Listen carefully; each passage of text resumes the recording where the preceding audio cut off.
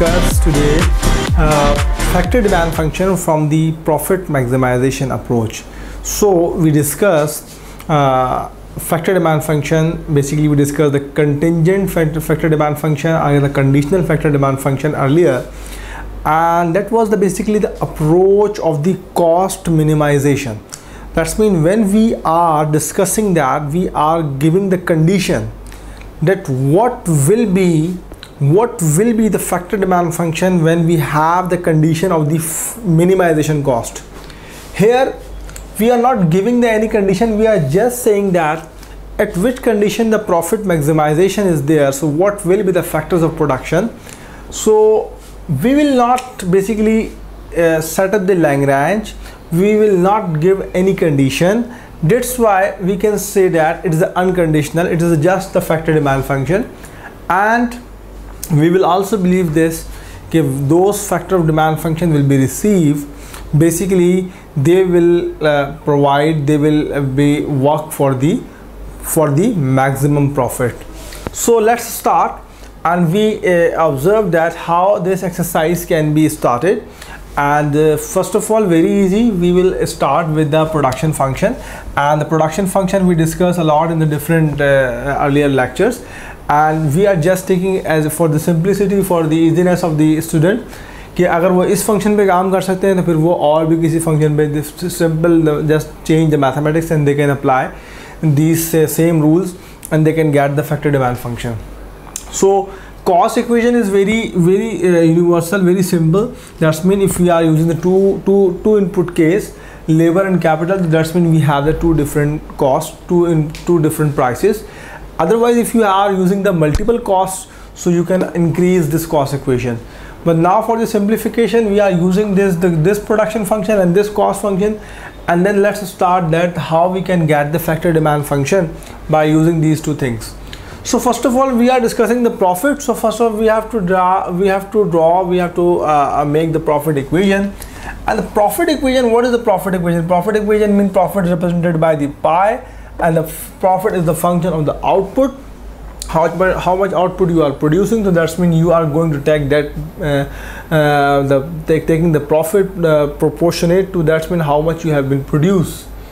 So other thing the revenue and cost. So revenue so when we discuss about the revenue so revenue is equal to p into q. So q is the basically uh, the production function and when we will multiply with the price of the output so it will become the revenue. And the cost function is very simple. When we will uh, uh, minus will multiply with the whole equation so that's mean minus wl and minus rk okay. So this is the cost equation. Now we are using the first order condition. And when we are using the first order condition so we are doing simply we are taking the basically the derivative of this equation with respect to the input input the first input the l and the other input will be the k.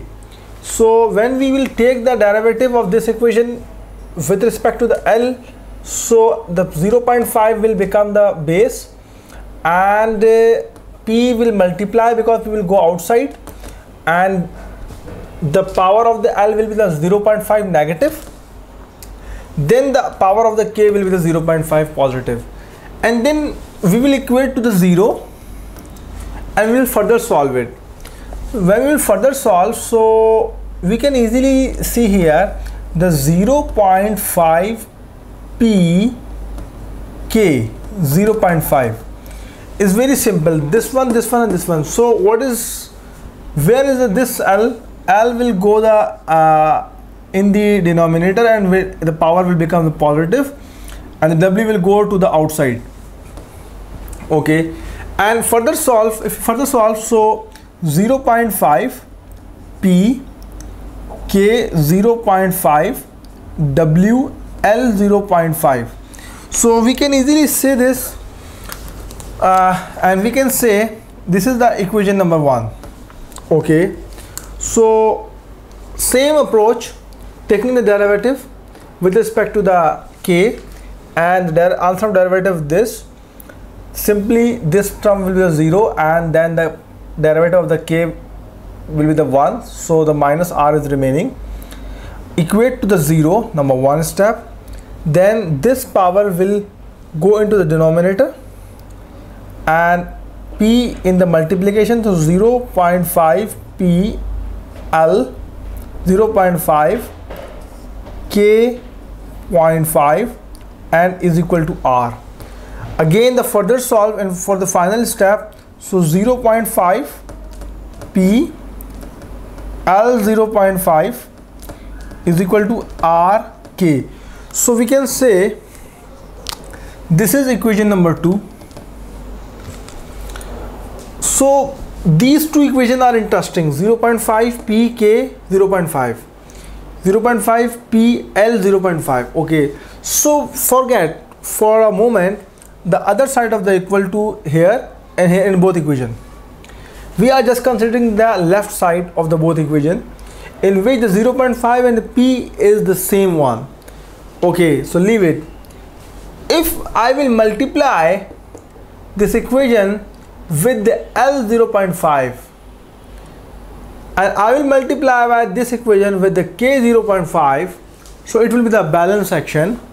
And I'm doing this the multiply by L 0.5 K raised to power 0.5 and what is happening if we are doing this with this so 0.5 P L 0.5 K 0.5 and this power will become 1 and it will become the WL very easy. And just we will multiply by k raised to power 0.5 with the equation number 2 so it will become 0.5 p l 0.5 k 0.5 the same one. Both terms have been completely same. Okay. Very nice. Then we will multiply it uh, so it will become rk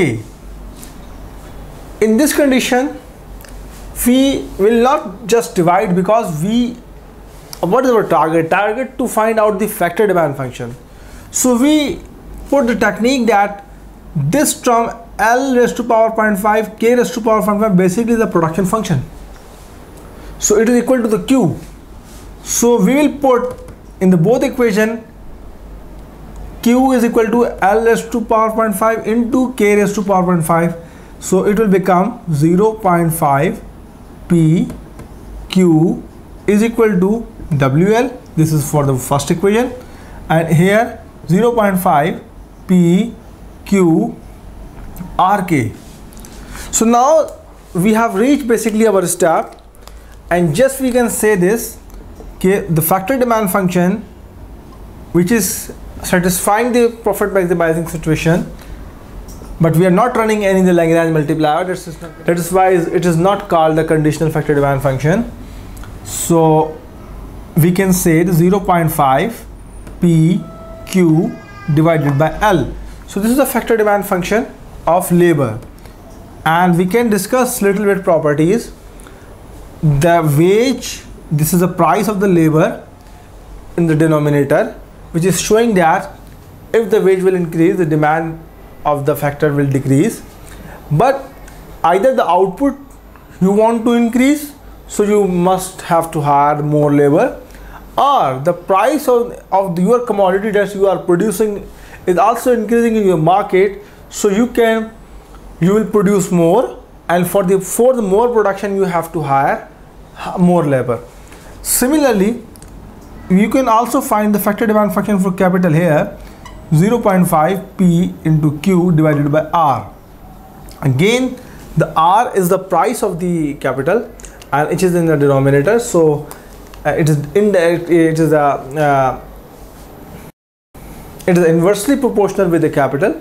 As the price of the capital will increase so the fact, uh, factory manager will demand the less capital. But it is directly proportional with the price of the commodity and if you want to produce the more output so you will must have to uh, you must have to employ the more capital so this is all about the factor demand function so please subscribe our channel for more videos. Thank you